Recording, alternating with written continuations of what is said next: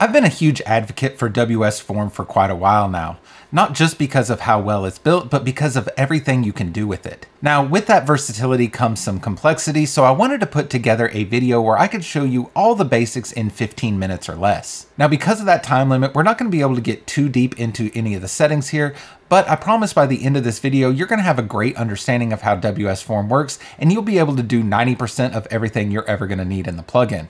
Now, if I'm gonna keep that 15 minute promise, we better get started. Like a lot of plugins in WordPress, WS Form operates off of a freemium model, so you can go right to the WordPress plugin repository and download the free or light version of WS Form, and you have a pretty functional form builder just on its own without spending a penny.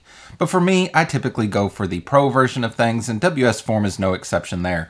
I'm personally on this agency plan, mostly because it gives me unlimited sites, plus it gives me access to all the add-ons. And when it comes to integrations, WS Form has a whole lot of them. Whether you're wanting to send this to your email marketing system or you have some other third-party system you need to connect in with your forms, chances are WS Form has an integration for it. But in today's video, we're just going to be installing the WS Form Pro plugin. Once you understand how the plugin's core functionality works, you'll intuitively understand how all the add-ons work, so I don't think it makes sense to go through each one of those individually. So today we're really just going to be talking about how to do the basics, but we're not going to go into every little setting.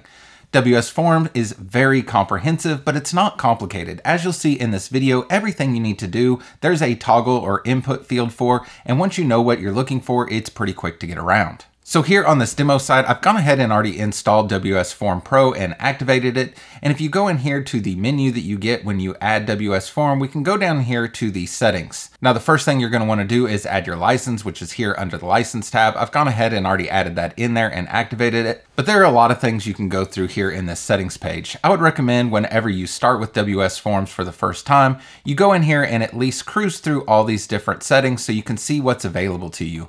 Typically, I will be able to leave all these on their defaults, but it's nice to know what's there in case I run into something that I want to tweak. I'll know that there's a setting for it here in this settings panel. So let's go ahead and add our first form. To do that, I'll just hover over here and click on add form. Now, the first time you open up WS Form, you're gonna get a little bit of an onboarding wizard. You can go ahead and watch this video if you like. We're just gonna go ahead and skip through that today. If you'd like to start with something that's done for you, there's plenty of templates to choose from here. And if you install any of the add-ons, some of them come with additional templates you can use as well.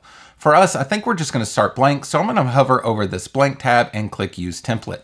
Since we're building out our first form here, you'll see these little glowing tooltips. These are more tutorials here for you just so you can get familiarized with the system. It only takes a minute to go through all these, but since we're gonna do that here in this video, I'm just gonna hit skip tutorial and make those all go away. Across this top toolbar, you have all of your basic needs covered. You can publish your form, preview it, style it, or view your submissions. We'll go through all of these in the video. And over here on the right-hand side, you have undo, redo, import form, export form, and then you have your toolbox here, which is all the fields that you can add to your form. On top of that, there's conditional logic, there's all the form actions, you can get to all the support docs here, and there's a form settings button here that will control the overall settings of your entire form. But let's go ahead and turn our attention to building out a form. The first thing you see here is tabs. You can add multiple tabs to a form and that will allow you to paginate your form if you just want to show a single question or multiple questions on one page and then have users go to the next page for the next set of questions. Underneath that, you'll see a section here, and sections are just a way for you to be able to group information. This can be really handy when you're setting up conditions and you need to do if-then statements that control a whole bunch of fields at once. It can also help with styling if you're wanting to group information together. When you hover over this section here, you do have a settings button that will allow you to add this to one of your save sections. So you can save sections in here and reuse them. You can also import sections, export sections, duplicate an entire section, or delete a section. And when you click on the settings button here for your section, you do have a few more settings in here under basic and advanced. But let's go ahead and get some fields added to our form. To do that, I'm gonna go to our toolbox here, make sure we're under fields, and I'll add something like maybe a text field here, a radio field, and then we'll add a submit button, which we can find down here in the button section. Now, an important thing to realize about WS Forms is that each one of these field types has contextual settings. So if we click on these settings here for our text field, we can see things like label that might show up on all of our field types, but there are gonna be things inside this panel that are specific just to text fields. Everything you could want to do with one of these fields is here. We have default values, placeholder, help text. We have an advanced tab here where you can go in and change the position of the label, add classes to your field, or even set up minimum, maximum characters, input mask, or patterns. We also have a data list here if you need to import information in. I'll go ahead and change this field label to name, and we'll go down to our radio field. Here we could add required if we wanted to make sure the user had to make a selection here, default values, help text like we saw before, but on this one, since it's a radio button, we can actually set the orientation of those radio fields. By default, it's gonna be set to vertical, but we could change that to horizontal or grid, and that's gonna change the orientation of these fields on the front end. There's other settings here under the advanced section. These are all pretty logical defaults, but you'll wanna go through these panels just to make sure you're familiar with what's there in case you need to do some more advanced changes. For a radio field, you're definitely going to need your different radio button options. So here we have radio 1, radio 2, and radio 3. You can always add more rows by clicking this add row button. You can make rows selected by default disable rows, hide rows, or delete rows with any of these icons here. You can also map all these selections so you can map the label or the values, and you can decide if it's the label or value that controls some of your actions, like sending off an email or putting something inside your CRM. Last in our demo form here is our submit button. Of course, you're gonna need a button here if you want people to be able to submit your form, but not all forms need a submit button. I've done forms before where I was doing something like a calculator and there was no reason to submit because it was doing all the calculations on the fly in the front end. Again, we have some different settings here for a button than we have for our radio field or text field, so you're going to want to go through these menus and just get yourself familiarized with them. There are a lot of settings in WS Form, which I know when I was first getting started was one of the things that was a bit overwhelming. However, like I said before, they're all pretty logical defaults, so I'm not always needing to dive into these settings. It's just important to know what's available to you, so if you do need it, you know exactly where to go. And this includes all the responsive settings. At the bottom of the screen, you'll see a slider here with different breakpoints. So I can change the width of my device here and make adjustments to my form based on the width. If I wanted to put the name and the radio button next to each other on anything from 768 and above, I can just go up to this field here and drag this field to make it smaller and do the next one to match, and that's automatically going to put these two next to each other. That means you can visually rearrange your forms and get things looking the way you want to.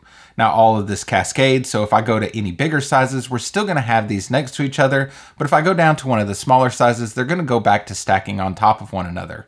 You have five different breakpoints to choose from here, so you can really rearrange this form to make sure it looks good on all devices. Next, let's look further into the conditional logic. So if we go up here to the conditional logic button, we'll see a window over on the right hand side. If ever these windows are too small for you, you can expand them here and then contract them back down. Now the conditional logic in WS Form works very similar to any other conditional logic system, so we'll just set up a simple condition here. We'll go ahead and add a new row. I'll just call this hide button, and we'll go in here and say if the radio field we set up has no row checked, then we can set our then statement. We could go down here and find our submit button and set the visibility to hidden. Now we have our else statement, so if then else, we're gonna go in here and set the visibility to visible. What this is gonna do is make sure that our submit button only shows up once the user has made a selection inside the radio field. Now you can add as many conditions as you'd like here and there's lots of different options to choose from. Like I said, if you're familiar with doing any kind of conditional logic, I think all of this is pretty intuitive. You'll just wanna go through the settings to figure out what all is available to you. Next up is our actions panel. These are gonna be actions you wanna take mostly when the form is submitted, but there are other things you can do inside the action panel as well. Now by default, I have a save submission, which is just gonna save any submissions to the database. We have show message, which is just gonna show a message to the user on the front end. By default, this one says, thank you for your submission. And then we have another one in here for send email, which is where you can configure an email that's sent once the form is submitted. This could be an email to yourself letting you know that a form has been submitted, or it even could be an email that goes out to the user after they submit the form. You can have multiple send actions, so you could send emails out to all kinds of people anytime a form is submitted. You can go through all the settings here. You can clone actions. You can disable actions. Just like on the conditional logic, we can add a row here, add a new action, and then choose from the different actions in this menu. Now, when you install some of the add-ons, you're gonna have additional actions you can do here as many of the add-ons connect into third-party systems. And when you have those installed here, you'll see those additional actions listed in this menu as well. If you do need a little bit of help, the support button will get you to the entire knowledge base where you can search for things. So you can search right here without leaving the dashboard and get to any of the help documents. And here we have the form settings. These are settings that control the entire form. Again, you'll want to go through these and see what's available to you. Most of the time, I don't have to go in here and make too many changes, but it is nice to know all the things that are available to you. We'll go ahead and save our changes here and we'll publish our form. You'll probably find yourself using the preview button quite a lot as you're building out a form. As I was building this out, it's going ahead and preparing this form and the preview button lets me see it on the front end. So if I went in here and made some changes, let's say I decided I didn't like those being next to each other, I could go ahead and make that adjustment. And if I go back to the form preview, it's automatically refresh that. It does a hot refresh anytime you make some changes. So it's a great way of seeing what's going on with your form so you can see the front end of it. You probably noticed this debugger at the bottom of the form. This has a lot of really handy features, especially for developers. But even as you're testing a form, you can use things like this populate button that will automatically go ahead and fill in our form. You can see here our submit button showed up once we filled in that radio field. If I clear that out, you can see our condition logic is working as it's hiding that button until we populate that radio field, so that's working great.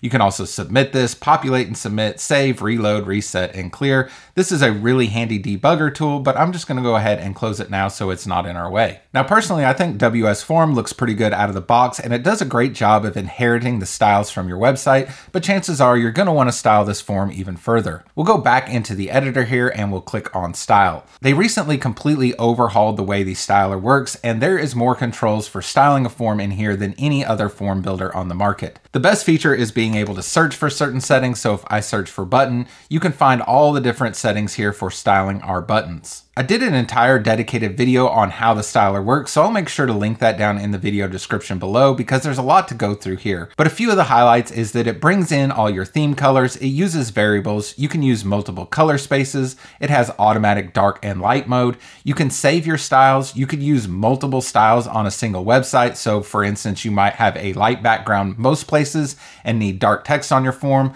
but have a dark footer that needs light text. You can set up those multiple form styles and then apply them to forms forms individually. You can also export all those styles and import all the styles. Like I said, definitely go check out that video I did on how the styler works. Back here in our edit screen, I'm just gonna go ahead and give this form a name of demo and we'll hit publish. We're gonna go to our pages and add a new page. We'll call this demo form. And if you go into the inserter, you can find a block for WS forms so you can bring your forms right into your page. I'll go ahead and select that demo form and we can see it here on the back end. Even the conditional logic works here in the back end. We'll go ahead and publish this page so we can view it on the front end. And let's go ahead and put in my name here. We'll select one of these radio fields and submit our form. You can see our success message here, which I showed you when we were setting up the actions on the form. And now we'll be able to go in and view our submissions. So we'll go back into the dashboard under WS Form, Submissions. We can see we have one new submission. And in here, we can select our demo form from the drop-down list and see all the submissions on this form. You can export all this data or export any one of these individually. You can also go into your screen options here and change which columns get shown inside these submissions here. So if there's specific information you want to be able to see at a glance, you can always make those changes and control which columns you view. WS Form is the most comprehensive form builder on the market, and I don't think it's even close. Now, because I was trying to keep this video under 15 minutes today, we weren't able to get into the weeds on too many of these features, but one thing I wanted to make sure I pointed out is their attention to accessibility, which I know can be a nightmare when it comes to form builders. If there's anything in this video that I glossed over that you'd like me to do a deeper dive on, let me know down in the comments. And if you enjoyed today's video, I would really appreciate a thumbs up, and if you want to make sure to catch the next one, hit subscribe, and we'll see you then.